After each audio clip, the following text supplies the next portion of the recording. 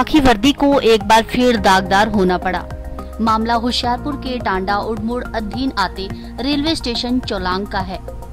यहाँ आज सुबह सात बजे के करीब दो पंजाब पुलिस के होमगार्ड में तैनात नौजवानों द्वारा एक 16 वर्षीय लड़की के साथ सामूहिक दुष्कर्म किया गया।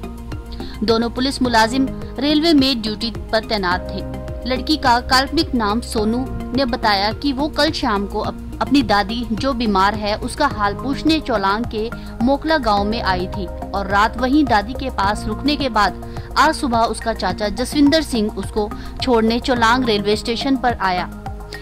यहाँ से उसने रेल पकड़कर अपने गाँव मुकेरिया के आयमा मांग जाना था, जिसके बाद दोनों मुलाजिमों ने उससे अकेला देख उसको जाँच के लिए पूछताछ करनी शुरू कर दी, जिसके बाद वो दोनों मुलाजिम, जिसके बाद वो दोनों मुलाजिम उसको सरकारी रेलवे के क्वार्टर में ले गए।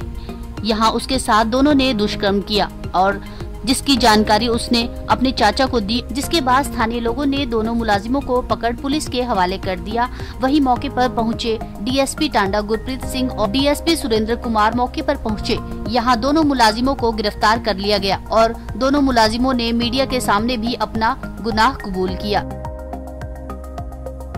बोलो जल्दी बोलो। ਕੁੜੀ ਨੂੰ ਪੁੱਛਾ ਦੇ ਮੈਂ ਇਹ ਮੇਰਾ ਮਨ ਕਰਦਾ ਜੀ ਮੈਂ ਕੀਤਾ ਨਹੀਂ ਬਾਕੀ ਮਲਾਇਆ ਬੇਟਾ ਸਾਡਾ ਕੋਲ ਟੈਸਟ ਫਿਰ ਮੈਂ ਤੁਹਾਡਾ ਕੀ ਕਹਿਣਾ ਵੀ ਇਹਨਾਂ ਨੇ ਇੱਕੋ ਬੰਦੇ ਨੇ ਕੀਤਾ? ਤੁਹਾਡੇ ਸਾਹਮਣੇ ਕੀਤਾ? ਇਹਨਾਂ ਨੇ ਫਿਰ ਮੈਂ ਚੱਲ ਗਿਆ ਬਾਹਰ ਫਿਰ ਕੀਤਾ ਚਲੋ ਇਹਨੇ ਕਰ ਲਿਆ ਅੱਛਾ ਤਾਂ ਤੁਸੀਂ ਇਹਨਾਂ ਨੂੰ ਇੱਕ ਮਿੰਟ ਲਾ ਸਵੇਰੇ ਕੀ ਹੋਇਆ ਸਰ ਤੁਸੀਂ ਉਹਦੇ ਨਾਲ 8 8 8 ਵਜੇ ਦੀ ਗੱਲ ਹੈ। ਹਾਂਜੀ। ਤੁਸੀਂ ਉਹਨਾਂ ਨਾਲ ਕੋਈ ਗਲਤ ਹਰਕਤ ਕੀਤੀ? ਹਾਂਜੀ। ਗਲਤ ਹਰਕਤ ਕੀਤੀ? ਗੱਲ ਤੇ ਚਲੋ ਜੋ ਹੋ ਗਿਆ। ਕਿੰਨੇ ਜਣੇ ਕਿੰਨੇ ਜਣੇ? ਬੋਲੋ ਕੀ ਹੋਇਆ? ਤੁਹਾਨੂੰ ਪਛਤਾਵਾ ਆਇਆ ਆਪਣੇ ਕੀਤੇ ਤੇ? ਹੈ? ਅੱਗੇ ਕੋਈ ਨਹੀਂ ਤੁਸੀਂ ਪਹਿਲਾਂ ਵੀ ਇਸ ਤਰ੍ਹਾਂ ਦੀਆਂ ਹਰਕਤਾਂ ਕੀਤੀਆਂ ਨੇ? ਕੋਈ ਪਤਾ ਨਹੀਂ ਕਿੱਥੋਂ ਮੁੰਡੇ ਦੋ ਲੈ ਕੇ ਆਏ ਸੀ। ਅੱਛਾ ਹਾਂਜੀ। ਰਾਤ ਸਵੇਰੇ ਇੱਥੇ ਸਟੇਸ਼ਨ ਤੇ ਬੈਠੇ ਸਟੇਸ਼ਨ ਤੇ ਬੈਠੇ ਹਾਂਜੀ ਬੋਲੋ। ਇਹ ਕਦੇ ਸਾਢੇ ਛੇ ਰਾਤ ਦੀ ਆਈ ਹੈ ਕੁੜੀ ਰਾਤ ਪਤਾ ਨਹੀਂ ਕਿੱਥੇ ਰਹੀ ਹੈ। ਦੋ ਮੁੰਡੇ ਲੈ ਕੇ ਇੱਕ ਮਿੰਟ ਭਾਈ ਇੱਕ ਮਿੰਟ। ਦੋ ਮੁੰਡੇ ਲਾ ਕੇ ਸਾਡੇ ਕੋਲ ਇੱਥੇ ਸਾਢੇ ਛੇ ਪੌਣੇ ਕੁ ਸੱਤ ਵਜੇ। ਇੱਥੇ ਸਾਡੇ ਕੋਲ ਆਈ ਆ। ਅਸੀਂ ਨੂੰ ਸਟੇਸ਼ਨ ਨੂੰ ਗੇੜਾ ਮਾਰਨ ਗਏ ਤੇ ਉੱਥੇ ਕੁੜੀ ਬੈਠੀ ਸੀ ਉਹਨੂੰ ਅਸੀਂ ਪੁੱਛਗਿੱਛ ਕੀਤੀ। ਉਹਨਾਂ ਦਾ ਕੋਈ ਬਿਆਨ ਸਹੀ ਨਹੀਂ ਲੱਗਦਾ ਸੀ ਸਾਨੂੰ। ਅਸੀਂ ਲਿਆ ਕੇ ਇੱਥੇ ਬਿਠਾ ਲਿਆ। ਮੁੰਡਾ ਨਾਲ ਸੀ ਮੋਕਲਾ ਵਾਲਾ ਉਹ ਉਹ ਇਹਦਾ ਮੋਕਲਾ ਸਰਪੰਚ ਦਾ ਨਾਮ ਦਾ ਉਹ ਸਰਪੰਚ ਦਾ ਨਾਮ ਨਹੀਂ ਦੱਸਦੀ ਆਪਣੇ ਡੈਡੀ ਦਾ ਨਾਮ ਨਹੀਂ ਦੱਸਦੀ ਅਸੀਂ ਤਾਂ ਤੇਰਾ ਭਰਾ ਆ ਕਹਿੰਦੀ ਮੈਂ ਦਾਦੀ ਨੂੰ ਮਿਲਣ ਆਈ ਹਾਂ। ਫੇਰ ਦੱਸੋ ਕੀ ਗੱਲ ਹੋਈ ਫੇਰ ਤੁਸੀਂ ਉਹਨੂੰ ਲੈ ਆਏ ਚੌਂਕੀ ਲੈ ਆਏ? ਹਾਂਜੀ। ਚੌਂਕੀ ਲੈ ਆਏ ਫਿਰ ਉਹਨੂੰ? ਕਿਉਂਕਿ ਇੱਥੇ ਬਿਠਾ ਕੇ ਕੇ ਚਾਹ ਪਾਣੀ ਪਿਲਾਇਆ ਉਹਨੂੰ। ਅੱਛਾ। ਹਾਂਜੀ। ਅੱਗੇ ਬੋਲੋ ਇਹ ਸਵੇਰੇ ਕੀ ਹੋਇਆ ਤੁਹਾਡੇ ਹਾਂਜੀ ਤੇ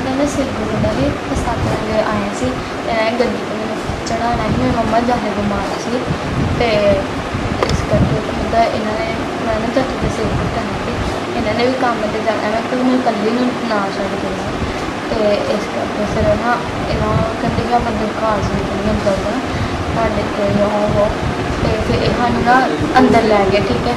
ਅੰਦਰ ਲੈ ਗਏ ਅਤੇ ਫਿਰ ਉਹ ਕਹਿੰਦੇ ਆਪਾਂ ਤੁਹਾਡੇ ਤੇ ਰਿਪੋਰਟ ਕਰੀਏ ਅੰਦਰ ਦਾ ਤੇ ਗੋਲ ਤੇ ਆਦਾ ਰਾਤ ਨੂੰ ਪਤਾ ਨਹੀਂ ਹੁੰਦਾ। ਮੈਂ ਕਿਹਾ ਨਹੀਂ ਅਸੀਂ ਸੋਆ ਵੀ ਖਾਣ ਲੈ ਮੈਂ ਕਿਹਾ, ਏਦਾਂ ਅਸੀਂ ਇਦਾਂ ਦੇ ਨਹੀਂ, ਮੈਂ ਸਿੱਕੇ ਚਾਹੂਗਾ ਫਿਰ ਮੰਮਾ ਨਾਲ ਗੱਲ ਵੀ ਕਰਵਾਈ ਮੈਂ, ਤੇ ਤਾਂ ਵੀ ਨਹੀਂ ਇਹਨਾਂ ਨੂੰ ਯਕੀਨ ਹੋਇਆ ਫਿਰ ਆਪਾਂ ਕਿਹਾ ਆਪਣੇ ਘਰ ਦੇ ਮੈਂ ਆਪਣੇ ਨੂੰ ਕਹਿੰਦੇ, ਇਕੱਲੇ ਨਹੀਂ ਕਹਿੰਦੇ ਸੀ, ਘਰ ਦੇ ਸੀ। ਕਹਿੰਦੇ ਆਪਣੇ ਘਰ ਦੇ ਲਿਆਦ ਆ ਕਿ ਚਾਚੂ ਕਹਿੰਦੇ ਲੈ ਆਉਂਦੇ ਆ। ਫਿਰ ਕਹਿੰਦੇ ਨਾ ਨਾ ਆਪਣੇ ਘਰ ਦੇ ਨਾਲ ਕਹਿੰਦੇ ਲਿਆਓ ਤੇ ਕਹਿੰਦੇ ਕਿਉਂ ਨਾ ਲਿਆਇਓ ਮੈਂ ਚਾਚੂ ਕਹਿੰਦੇ, ਕਹਿੰਦਾ ਫਿਰ ਮੈਂ ਚਾਚੂ ਕਹਿੰਦੇ, ਅਸੀਂ ਲਿਆਣੇ ਆਪਣੇ ਘਰ ਦੇ। ਕਹਿੰਦੇ ਨਾ ਲਿਆਇਓ ਤੇ ਕੁੜੀਆਂ ਆਪਾਂ ਨੌ ਵਾਲੀ ਗੱਡੀ ਤੇ ਚੜਾ ਲੈਂਦੇ ਦੋ ਤੇ ਕੋਈ ਪੈਸਾ ਨਹੀਂ। ਮੇਰੇ ਚਾਚੂ ਨੇ ਦੇ ਦਿੱਤੇ, ਜਦੋਂ ਵੀ ਚੜਾ ਲੈਂਦੇ ਤੇ ਇਹਨਾਂ ਨੇ ਫਿਰ ਆਪਣੇ ਕੋਲ ਪਿਆਰ ਵੀ ਦਿੱਤੀ। ਫਿਰ ਮੈਂ ਚਾਚੂ ਨੂੰ ਕਹਿੰਦੇ, ਤੁਸੀਂ ਚੱਲ ਜਾਓ। ਮੇਰੇ ਚਾਚੂ ਆ ਗਿਆ ਮੈਂ ਚਾਚੂ ਨੂੰ ਨਾਲ ਪਹਿਲੇ ਦਾ ਚਾਚੂ ਇਹਨਾਂ ਨੇ ਮੈਨੂੰ ਨਾ ਗਲਤ ਕੰਮ ਕਰਦੇ ਅਤੇ ਤੁਸੀਂ ਨਾ ਆਓ ਅਤੇ ਇਹ ਕਹਿੰਦੇ, ਮੈਂ ਕੋਈ ਨਾ ਬਾਰੇ ਮੈਨੂੰ ਫੋਨ ਮੰਗ ਕੇ ਦੇ ਮੈਨੂੰ ਨਾ ਫੋਨ ਕਰ ਦਿੱਤਾ ਇਹਨਾਂ ਨੇ ਸਾਰੇ ਮੇਰੇ ਕੱਪੜੇ ਕੱਪੜੇ ਲਾਏ ਗਏ ਮੈਂ ਪੂਰੇ ਮੇ ਕੱਪੜੇ ਲਾਏ, ਮੈਂ ਨਾ ਜ਼ਬਰਦਸਤੀ ਲਾਈ। ਜਿੱਦੇ ਜਿੱਦੇ ਮੈਂ ਚਾਚੀ ਚਲ ਗਏ ਮੁੜ ਕੇ ਇਹਨਾਂ ਨੇ ਡਰਾਵਾ ਦਿੱਤਾ। ਏਦਾਂ ਤੁਹਾਨੂੰ ਕਿੰਨੇ ਜਣੇ ਸੀ? ਦੋ ਜਾਣੇ। ਕਹਿੰਦੇ ਕਿ ਤੁਹਾਨੂੰ ਕੁੱਟਣਾ ਮਾਰਨਾ ਏਦਾਂ ਏਦਾਂ ਦਰਖਾਸਤ ਦੇਣੀ ਤੁਹਾਡੇ ਤੇ ਏਦਾਂ ਜੇ ਨਾ ਮੰਨੇ ਤਾਂ ਅਸੀਂ ਨੰਗੇ ਮੁੜ ਕੇ ਤੁਹਾਨੂੰ ਉਦੋਂ ਦੇ ਵਿੱਚ ਮਤਲਬ ਫੰਡਣਾ ਇਹ ਦੋਨਾਂ ਬੰਦਿਆਂ ਨੇ ਤੁਹਾਡੇ ਗਲਤ ਹਰਕਤ ਕੀਤੀ? ਹਾਂ ਇੱਕ ਨੇ ਮਤਲਬ ਥੋੜਾ ਕੀਤਾ ਇੱਕ ਨੇ ਜ਼ਿਆਦਾ ਜ਼ਬਰਦਸਤੀ ਡਰੇਨ ਕੀਤੀ ਸੀ। ਜਿਹੜਾ ਮਾੜਾ ਬੁੱਢਾ ਸੀ ਅੱਖਾਂ ਉਹਦੀਆਂ ਵਿੱਚ ਵੜੀਆਂ ਉਹਨੇ ਜ਼ਬਰਦਸਤੀ ਕੀਤੀ। ਸਰਦਾਰ ਸੀ ਕਿ ਮੋਨੇ ਸੀ ਸਰਦਾਰ। ਵਰਦੀ ਪਾਈ ਸੀ ਉਹਨਾਂ ਨੇ ਯੂਨੀਫਾਰਮ ਹਾਂਜੀ। ਤੇ ਫਿਰ ਨਹੀਂ ਯੂਨੀਫਾਰਮ ਪਾਈ ਸੀ ਉਹਨਾਂ ਨੇ? ਹਾਂਜੀ। ਤੇ ਕੀ ਕੋਈ ਉਹਨਾਂ ਦੇ ਬੈਚ ਤੇ ਕੁਝ ਨਾਮ ਨਹੀਂ ਲਿਖਿਆ ਸੀ ਉਹਨਾਂ ਦਾ ਕੀ? ਸੀ ਮੈਂ ਕੁਝ ਸਟਾਰ ਲਿਖੇ ਸੀ ਤੇ ਫਿਰ ਨਾ ਇੱਕ ਬਲੇ ਮਾਨ ਸੰਕਰ ਦੀ ਉਹ ਵੀ ਥਾਣੇ ਤੇ ਇੱਥੇ ਡਿਊਟੀ ਸੀ ਉਹ ਚਲੇ ਗਏ। ਕਹਿੰਦੇ ਇਹਨਾਂ ਦੀ ਜ਼ਮਾਨਤ ਕਰਾ ਦਿੱਤੀ ਨਾ। ਪੇਪਰ ਖਾਈ ਕਰਕੇ ਤੇ ਬੱਚਿਆਂ ਨੂੰ ਘਰ ਦਿਓ। ਇਹ ਕਹਿੰਦੇ ਕੋਈ ਨਹੀਂ ਕੋਈ ਨਹੀਂ ਮੁੜ ਕੇ ਮੈਂ ਚੱਕ ਨੂੰ ਘਰ ਕੇ ਮੈਂ ਨਾ ਗਲਤ ਕੰਮ ਕਰਨ ਡਿਆ ਨੂੰ ਮੁੜ ਗਈ ਕਿੰਨੀ ਉਮਰ ਹੈ ਤੇਰੀ? 16 ਅਹ 17 ਕਿਹੜਾ ਪਿੰਡ ਆਪਣਾ? ਮੇਰਾ ਦਸ ਇੱਕ ਮੈਂ ਮੋਕਲਾ ਪਹਿਲਾਂ ਰਹਿੰਦੇ ਸੀ ਫਿਰ ਸ਼ਿਫਟ ਆਪ ਉੱਥੇ ਹੋ ਗਿਆ ਐਮਏ ਕੀ ਪ੍ਰਸ਼ਾਸਨ ਤੋਂ ਮੰਗ ਕਰਦੇ ਤੁਸੀਂ? ਤੇ ਇਹਨਾਂ ਤੇ ਕੇਸ ਕਰਨਾ ਕਿੰਨੇ ਕੁ ਵਜੇ ਦਾ ਟਾਈਮ ਸੀ ਇਹ? ਸਵੇਰੇ। 6-7 ਦਾ ਸੀ। ਅੱਜ ਸਵੇਰ ਦੀ ਗੱਲ ਹੈ? ਹਾਂਜੀ ਮੈਂ ਤਾਂ ਜਲਦੀ ਜਾਣਾ। ਸੀ ਮੇਰੀ ਮੰਮਾ ਜ਼ਿਆਦਾ ਬਿਮਾਰ ਸੀ। ਇਸ ਕਰਕੇ ਹਾਂਜੀ ਕੀ ਹਾਂਜੀ। ਮੈਂ ਆਪਣੀ ਸਹੇਲੀ ਨੂੰ ਪਿੰਡ ਤੋਂ ਛੱਡਣ ਗਿਆ ਸੀ ਮੋਕਲਾ ਤੋਂ। ਚਲਾ ਗੱਡੇ ਤੇ। ਤੀ ਚਲਾ ਗੱਡੇ ਛੱਡਣ ਆਇਆ ਤੇ ਮੇਰਾ ਨਾ ਸਿਰ ਬਹੁਤ ਉੱਤੇ ਸੀ। ਸੱਤ ਕੁ ਵਜੇ ਦਾ ਟਾਈਮ ਸੀ ਛੱਡਣ ਆਇਆ।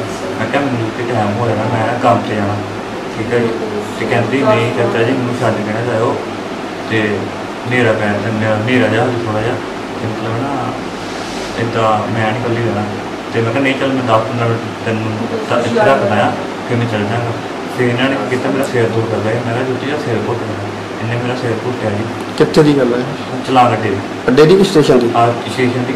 ਇਸ ਤੋਂ ਬਾਅਦ ਜੀ ਇਹਨਾਂ ਨੇ ਵੇਖ ਲਿਆ ਦੋਨਾਂ ਨੇ। ਇਹਦੇ ਸਿਰ ਘੁੱਟਣ ਦੀ ਸੀ ਕਹਿੰਦੀ ਆ ਕਹਿੰਦਾ ਆ ਜਾਓ ਤੁਸੀਂ ਕੀ ਕਰ ਰਹੇ ਹੋ? ਤੂੰ ਤੁਹਾਨੂੰ ਰਾਤ ਨੂੰ ਦੇਖਿਆ ਤੇ ਅਸੀਂ ਦੌੜਦਾ ਮੈਂ ਰਾਤ ਨੂੰ ਡਰੋਪ ਕਰਨ ਆਇਆ ਸੀ ਨਾ।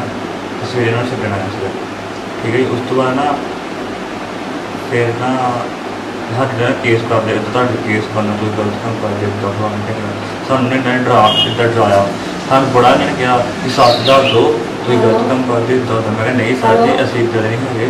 ਅੱਜ ਮੇਰੀ ਭਤੀਜੀ ਹੈ ਇਹ ਨਹੀਂ ਮੰਨੇ ਸਾਨੂੰ ਡਰਾ ਡੂਬ ਰੱਖਿਆ ਸਾਨੂੰ ਘੱਟੋ ਘੱਟ ਨਾ ਘੰਟਾ ਉਹ ਅੱਧਾ ਗਵਾਹੀ ਆ ਘੰਟਾ। ਤੇ ਉਹ ਦੋਨਾਂ ਹੋ। ਫਿਰ ਉਸ ਤੋਂ ਬਾਅਦ ਕੀ ਹੋਇਆ? ਉਸ ਤੋਂ ਬਾਅਦ ਸਾਰਾ ਹੋ ਗਿਆ ਚੌਂਕੀ ਦਾ। ਮੈਨੂੰ ਕਹਿੰਦੇ ਆਪਣੇ ਤੇ ਪਾਪਾ ਨਾਲ ਮੰਮੀ ਨਾਲ ਗੱਲ ਕਰੋ। ਮੈਂ ਡੈਡੀ ਨੂੰ ਫੋਨ ਆਇਆ ਡੈਡੀ ਨੇ ਫੋਨ ਚੱਕਿਆ। ਤੇ ਭਾਬੀ ਨੂੰ ਫੋਨ ਆਇਆ ਭਾਬੀ ਨੇ ਗੱਲ ਕਰਵਾਈ।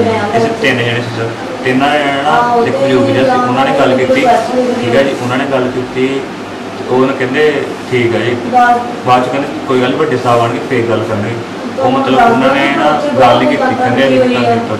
ਪਤਾ ਨਹੀਂ ਕਿਉਂ ਨਹੀਂ ਗੱਲ ਕੀਤੀ ਸੀ। ਉਸ ਤੋਂ ਸਾਰਾ ਬਾਅਦ ਨਾ ਮੈਨੂੰ ਕਹਿੰਦੇ ਤੂੰ ਆ ਆਪਣੇ ਡੈਡੀ ਮੰਮੀ ਨੂੰ ਇੱਥੇ ਲੈ ਗਿਆ ਸਪੈਂਸ ਨੂੰ ਲੈ ਗਿਆ ਤੈਨੂੰ ਅੱਡੇ 'ਚ ਕੌਣ ਪਹੁੰਚਦਾ ਮੈਂ ਕਿਹਾ ਅੱਡੇ ਮੈਨੂੰ ਬਹੁਤ ਜਣੇ ਜਾਣਦੇ ਆ। ਇਹਨਾਂ ਨੇ ਠੀਕ ਹੈ ਇਹਨਾਂ ਨੇ ਚਾਹ ਬਣਾਈ ਸਾਡੇ ਵਾਸਤੇ ਪਹਿਲਾਂ। ਸਰ ਉਸ ਤੋਂ ਬਾਅਦ ਨਾ ਚਾਹ ਨੂੰ ਪਿਲਾ ਕੇ ਨਾ, ਮੈਨੂੰ ਕਹਿੰਦਾ, ਚੱਲ ਇੱਧਰ ਆ, ਤੂੰ ਜਾ ਘਰ।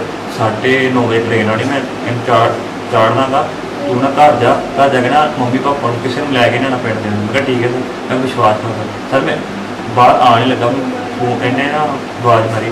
ਕਹਿੰਦੀ ਚਾਚਾ ਜੀ ਮੈਨੂੰ ਨਾ ਛੱਡ ਕੇ ਜਾਓ। ਇਹਨਾਂ ਨੇ ਨਾ ਮੇਰੇ ਨਾਲ ਗਲਤ ਕੰਮ ਕਰਨਾ। ਤੇ ਮੈਨੂੰ ਇੰਨੀ ਗੱਲ ਕਹੀ ਨਾ ਇਹਨੇ। ਮੇਰੇ ਨਾਲ ਦਿਮਾਗ 'ਚ ਹੋਰ ਹੀ ਗੱਲਾਂ ਚੱਲ ਰਹੀਆਂ ਤੁਸੀਂ ਕੀ ਕਰ ਵੀ ਸਕਦੇ ਆ ਅੱਜ ਕੱਲ੍ਹ ਸਮਾਂ ਨਹੀਂ ਹੈਗਾ। ਇਸ ਤੋਂ ਬਾਅਦ ਨਾ ਇਹਨਾਂ ਨੇ ਧੱਕ- ਨਾਲ ਬਾਹਰ ਕੱਢ ਦਿੱਤਾ। ਜਾ ਘਰ ਇਹਨੂੰ ਵੀ ਨਾ ਮਤਲਬ ਕਰ ਦਾਂਗੇ ਅਹ, ਸਾਢੇ ਨੌ ਫਿਰ ਤੁਹਾਨੂੰ ਧੱਕੇ ਨਾਲ ਬਾਹਰ ਕੀਤਾ ਉਸ ਤੋਂ ਬਾਅਦ ਕੀ ਕੀਤਾ ਇਹਨਾਂ ਨੇ? ਉਹਨਾਂ ਨੇ ਸਰ ਮੈਂ ਨਾ ਤੁਰ ਪਿਆ। ਉਸ ਤੋਂ ਬਾਅਦ ਸਰ ਮੈਨੂੰ ਨਹੀਂ ਪਤਾ ਕੀ ਕੀਤਾ ਮੈਂ ਤੁਰ ਪਿਆ। ਠੀਕ ਆ ਉਸ ਤੋਂ ਬਾਅਦ ਸਰ ਮੈਂ ਨਾ ਉਸੇ ਕਿ ਮੇਰੇ ਡੈਡੀ ਦਾ ਫੋਨ ਆਇਆ ਕਹਿੰਦੇ ਕਿੱਥੇ ਆ? ਮੈਂ ਕਿਹਾ ਚਲਾਨ ਅੱਛਾ ਕਹਿੰਦੇ ਠੀਕ ਹੈ ਆ ਜਾਓ। ਮੈਂ ਕਿਹਾ ਠੀਕ ਹੈ ਜੀ। ਸਰ ਮੈਂ ਨਾ ਮੇਰੇ ਨਾ ਦਿਮਾਗ 'ਚ ਘੁੰਮ ਗਈ ਚੱਕਰੀਆਂ ਮੈਨੂੰ ਪਤਾ ਸੀ ਮੈਂ ਗਲਤ ਕੰਮ ਕਰਨਾ। ਉਹਨਾਂ ਨੇ ਡਿਊਟੀ ਉਹਨੇ ਕਿਹਾ ਆ ਤੇ ਮੈਂ ਸਰ ਮੈਂ ਨਾ ਅੱਡੇ ਦੀਆਂ ਚੱਕਰਾਂ ਲਾਉਣ ਲੱਗ ਗਿਆ ਗੇੜੀਆਂ ਲਾਉਣ ਲੱਗ ਗਿਆ। ਉਸ ਤੋਂ ਬਾਅਦ ਸਰ ਮੈਂ ਨਾ ਫੇਰ ਨਾ ਮੂੰਹ ਸਿਰ ਖਾ ਗਿਆ ਫੋਨ ਭਾਬੀ ਦਾ ਆਇਆ ਸੀ ਉਸ ਟਾਈਮ ਮੈਂ ਕਿਹਾ ਭਾਬੀ ਮੈਂ ਨਾ ਤੁਸੀਂ ਬਰੀਫ ਨਾ ਕਰੋ ਪੂਰਾ ਦੱਸੋ ਤੇ ਵਾਕਿਆ ਤੁਹਾਨੂੰ ਕਿੱਦਾਂ ਪਤਾ ਲੱਗਾ ਇਹਨਾਂ ਕੁੜੀ ਨਾਲ ਬਲਾਤਕਾਰ ਹੋਇਆ ਹਾਂਜੀ ਮੈਂ ਮੈਨੂੰ ਤਾਂ ਸ਼ੱਕ ਹੋਇਆ ਜੀ ਦੋਨੇ ਦਰਵਾਜ਼ੇ ਲੱਗ ਗਏ ਬਾਹਰਲਾ ਉਸ ਤੋਂ ਪਰਲਾ ਵੀ ਇੱਕ ਖਿੜਕੀ ਸੀਗੀ ਖੁੱਲੀ ਉਹ ਵੀ ਬੰਦ ਹੋ ਚੁੱਕੀ ਸੀ। ਇਸ ਕਰਕੇ ਮੈਨੂੰ ਸ਼ੱਕ ਹੋਇਆ ਜੀ। ਫਿਰ ਤੁਸੀਂ ਨਾ ਕੋਈ ਰੌਲਾ ਨਹੀਂ ਪਾਇਆ ਕਿਸੇ ਨੂੰ? ਬੁਲਾਇਆ ਨਹੀਂ? ਅਸੀਂ ਰੋਲਾ ਨਹੀਂ ਪਾਇਆ। ਮੈਨੂੰ ਮੈਂ ਨਾ ਫਿਰ ਭਾਬੀ ਨੂੰ ਕਿਹਾ ਮੈਂ ਕਿਹਾ, ਭਾਬੀ ਮੈਂ ਅੰਦਰ ਗਿਆ ਨਾ ਨਾਲ ਮੈਨੂੰ ਫੜ ਲੈਣਾ ਕੁੱਟਣਾ ਨਾ ਹਨਾ? ਮੈਂ ਕਿਹਾ ਤੂੰ ਦੱਸਣਾ ਏਦਾਂ ਉਦਾਂ ਬਾਅਦ ਉਸ ਤੋਂ ਬਾਅਦ ਜੀ ਕੀ ਹੋਇਆ ਜੋਤੀ ਨੇ ਮੈਨੂੰ ਨਹੀਂ ਪਤਾ ਉਸ ਬਾਅਦ 'ਚ ਨਾ ਮੈਨੂੰ ਜੋਤੀ ਨੇ ਨਾ ਮੈਂ ਨਾ ਅੱਡੇ ਉੱਧਰ ਜਾਂਦੇ ਸੀ ਤੇਲ ਪਵਾਉਣ। ਮੈਨੂੰ ਨਾ ਇਹਨੇ ਫੋਨ ਲਾਇਆ ਮੈਂ ਤੇਲ ਪਵਾਇਆ ਨਹੀਂ ਮੈਂ ਇੱਥੇ ਆ ਗਿਆ ਵਾਪਸ। ਮੈਂ ਕਿਹਾ ਵੀਰ ਜੋਤੀ ਕਹਿੰਦੀ ਮੇਰੇ ਨਾਲ ਨਾ ਇੱਦਾਂ ਇੱਦਾਂ ਹੋਈ। ਦੋ ਦਿਨ ਮੈਂ ਗੱਲ ਕਹੀ ਸੀ ਮੇਰੀ ਗਈ ਤਾਂ ਉਹਦਾ ਸਾਰੇ ਇਸ ਤੋਂ ਬਾਅਦ ਇਹਨੇ ਨੂੰ ਰੋਲਾ ਪਾਤਾ ਇੱਥੇ ਆਣ ਕੇ। ਇਹਨਾਂ ਨੇ ਕਿਹਾ ਅਸੀਂ ਬੰਦੇ ਇਕੱਠੇ ਕਰਨੇ ਇੱਦਾਂ ਉੱਦਾਂ ਪਰ ਕਿੰਨੇ ਇਕੱਠੇ ਹੋ ਗਏ ਉਸ ਤੋਂ ਬਾਅਦ ਕੀ ਮੰਗ ਕਰਦੇ ਪ੍ਰਸ਼ਾਸਨ ਤੋਂ ਤੁਸੀਂ? ਹਾਂਜੀ। ਕੀ ਮੰਗ ਕਰਦੇ ਹੋ? ਸਾਰਿਆਂ ਨਾਲ ਸਜ਼ਾ ਹੋਣੀ ਚਾਹੀਦੀ ਹੈ। ਉਹਦੇ ਬਾਰੇ ਹੁਣ ਕਾਰਵਾਈ ਕਰਨ ਲੱਗੇ ਆ। ਪਰਚਾ ਦਰਜ ਹੋਏਗਾ ਕਿਉਂਕਿ ਮੁਲਾਜ਼ਮ ਹੈਗੇ ਨੇ ਹੋਮ ਪੰਜਾਬ ਹੋਮਗਾਰਡ ਦੇ। ਇੱਕ ਦਾ ਨਾਮ ਹੈਗਾ ਦਿਲਬਾਗ ਸਿੰਘ ਇੱਕ ਦਾ ਨਾਮ ਧਰਮਪਾਲ। ਤੇ ਇੱਕ ਨਾਬਾਲਗ ਕੁੜੀ ਆ 16 ਕੁ ਸਾਲ ਦੀ ਤੇ ਇਨਫੋਰਮੇਸ਼ਨ ਮੈਨੂੰ ਮਿਲੀ ਸੀ ਮੈਂ ਜਲੰਧਰ ਸੀਗਾ ਤੇ ਉੱਥੋਂ ਮੈਂ ਹੁਣ ਆਇਆ ਇਮੀਡੀਏਟਲੀ ਤੇ ਉਹਦੇ ਨਾਲ ਜੋ ਕਾਨੂੰਨ ਦੇ ਮੁਤਾਬਕ ਕਾਰਵਾਈ ਕ- ਅਸੀਂ ਕਰਾਂਗੇ ਤੇ ਜਲੰਧਰ ਪਰਚਾ ਦਰਜ ਹੋਏਗਾ ਜੀਆਰਪੀ ਥਾਣੇ 'ਚ ਸਰ ਕੀ ਇਹ ਤੁਹਾਡੀ ਜਿਹੜੀ ਕਾਨੂੰਨ ਦੀ ਵਿਵਸਥਾ ਕਰਨ ਵਾਲੀ ਹੈ ਕਿ ਉਸਨੇ ਚੌਂਕੀ ਦੇ ਵਿੱਚ ਹੀ ਉਸ ਲੜਕੀ ਦੇ ਨਾਲ ਬਹੁਤ ਕੀਤਾ? ਬਹੁਤ ਹੀ ਜ਼ਿਆਦਾ ਗਲਤ ਕੰਮ ਹੋਇਆ ਹੈ। ਔਰ ਸਾਨੂੰ ਸਾਡੇ ਪੁਲਿਸ ਦੇ ਉੱਤੇ ਇੱਕ ਧੱਬਾ ਹੀ ਲੱਗਿਆ ਸਮਝ ਲਓ। ਪਰ ਅਸੀਂ ਇਹਨੂੰ ਕਾਨੂੰਨ ਦੇ ਮੁਤਾਬਕ ਹੀ ਨਾ ਉਹਨਾਂ ਨੂੰ ਸ- ਸਜ਼ਾ ਤਾਂ ਦਵਾਵਾਂਗੇ ਹੀ। ਤੇ ਪਰ ਲੋਕਾਂ ਨੂੰ ਸਾਡੇ ਪੁਲਿਸ ਦੇ ਉੱਤੇ ਇੱਕ ਯਕੀਨ ਰੱਖਣਾ ਚਾਹੀਦਾ ਵੀ ਅਸੀਂ ਜੇ ਆਪਦੇ ਮੁਲਾਜ਼ਮਾਂ ਤੇ ਵੀ ਪਰਚਾ ਦਰਜ ਕਰ ਸਕਦੇ ਹਾਂ ਤਾਂ ਕਰਾਂਗੇ। ਔਰ ਹੋਏਗਾ। ਔਰ ਕਾਨੂੰਨ ਦੇ ਮੁਤਾਬਕ ਜੋ ਕ- ਵੱਧ ਤੋਂ ਵੱਧ ਕਾਰਵਾਈ ਸਖਤ ਤੋਂ ਸਖਤ ਉਹ ਕਰਾਂਗੇ। ਕਿੱਥੇ ਪਰਚਾ ਦਰਜ ਕਰ ਰਹੇ ਹੋ ਇਹ ਜੀਆਰਪੀ ਥਾਣਾ ਜਲੰਧਰ ਹੈ ਕੁੜੀ ਦਾ ਮੈਡੀਕਲ ਵਿੱਚ ਉੱਥੇ ਜਲੰਧਰ ਸਿਵਲ ਹਸਪਤਾਲ एंस्टा न्यूज के लिए मुकेरिया से जॉनी गेरा की रिपोर्ट